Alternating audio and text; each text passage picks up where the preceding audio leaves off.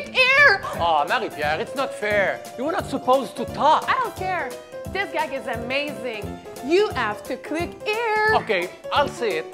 This gag is the funniest thing I ever seen in my life. Click here. I feel so much better. Uh, but wait. Subscribe!